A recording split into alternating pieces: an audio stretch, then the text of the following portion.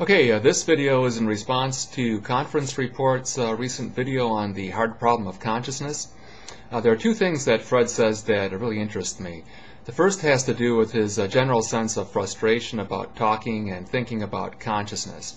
If I understand him, he seems to be implying that the hard problem is hard, if for no other reason uh, because consciousness somewhat defies words, language, and is so inarticulable. The other comment he makes is this one. You've got this thing called the brain, and it's incredibly complex. We know that.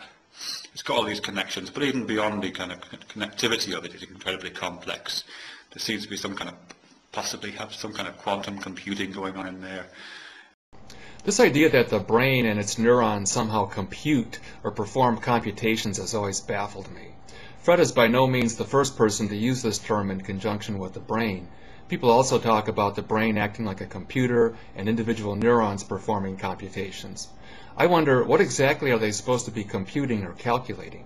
Are they setting up equations and solving them? Are they performing literal acts of multiplication and addition somewhere in their microtubules, calculating integrals and derivatives? And do they use the base 10, or are they more advanced using digital technology? And what do they do with the numerical answers once they've been calculated? To me, this is uh, more evidence of Fred's contention about consciousness being baffling and impervious to even thinking about it. In this video, I want to do two things. First, see if I can try to better define or narrow the definition of consciousness vis-a-vis -vis the hard problem. Second, using this more focused definition, try to explain how I believe the brain produces consciousness in a way that doesn't entail computations and is far more organic. It's more analog as opposed to digital. My approach doesn't rely on fuzzy concepts like neural computations or quantum voodoo, and it does so in a way that actually employs Occam's razor. One way to define consciousness, or the way I'm going to choose to do it here, is to say that it's a succession of sensory experiences, or using the parlance of cognitive scientists, a succession of qualia. Here's a quick list of examples.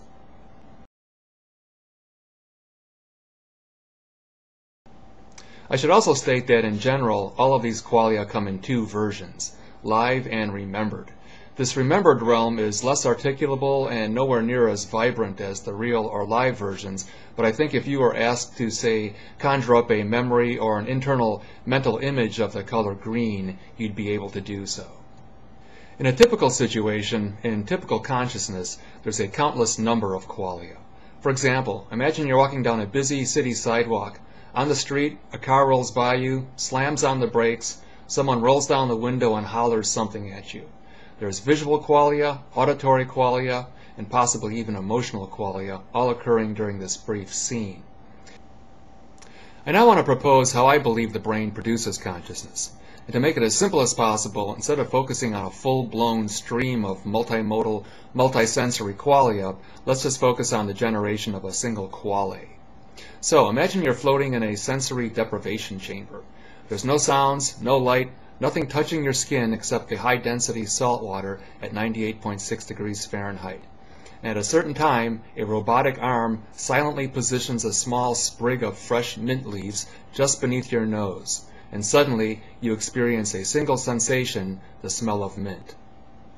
So this is the quale, the snapshot of conscious experience I want to talk about. At this specific moment, this is what I believe is happening in our brains. But first, a little background. Our sensing systems can generally be described as follows. They consist of three main contributors. Sensing neurons, transmitting neurons, and for lack of a better term, reporting neurons. These reporting neurons happen to occur in sensory maps. These maps occur in three general areas, the brainstem, the midbrain, and the cortex. For the sake of this discussion, we'll assume that when we experience the smell of mint leaves, it's triggered by the presence of mint odorant molecules in our nasal passages, but ultimately because of the activity of the neurons in one of the midbrain maps. Generally, there's a one-to-one -one correspondence between the stimulation of a particular sensing neuron and the stimulation of a specific group of neurons in these maps. That is, instead of just a single reporting neuron becoming stimulated, there's a column or a barrel of neurons, which might consist of anywhere from 100 to tens of thousands of neurons, all in close proximity, as seen in these diagrams. Okay, so when our quality of mint odor occurs, there's corresponding activity in one of these columns. So what is this activity? firing neurons. Some fire more than others. Many of these neurons feed back into the column and sustain the activity. Others try to inhibit it. Others branch out to other maps. And what exactly do we mean by fire? Basically, the neuron shuttles an area of electrical charge down its axon. Now, we know that when electrons move in a conductor, they create or induce a magnetic field. We also know that when the strength or direction of a magnetic field changes in the presence of a conductor, it induces the electrons within that conductor to move. It happens that our bodies and brains are to a large degree saline solution, a good conductor of electricity. When all of these hundreds or thousands of neurons fire at their own unique frequencies and in a very confined area, the electrical activity of one neuron induces magnetic field changes in neighboring neurons, which in turn affects their electrical activity. And this induced electrical activity then creates its own magnetic field effects, which in turn meld with and affect other neighboring neurons, etc., etc., etc. Seen this way, this entire active column of firing neurons could be viewed as a complex qualianic oscillator or qualianic resonator each column in the map creating its own unique dynamic electromagnetic signature. Each column consisting of a physical scaffold of neurons permeated or infused with this less physical, diaphanous, ethereal, intangible, invisible EM activity. And this complex amalgamation of EM activity, I contend, is what constitutes our first person quale. In other words, the EM activity is the self-same thing as our quale. Now, I think there are two ways to look at this. One is from the outside in. You could imagine having some kind of high-tech, futuristic, non-invasive brain probe that's able to make thousands of measurements within this tiny column measuring instantaneous voltages and magnetic field parameters. Some would call this looking at it objectively. However, we could also consider it from the inside.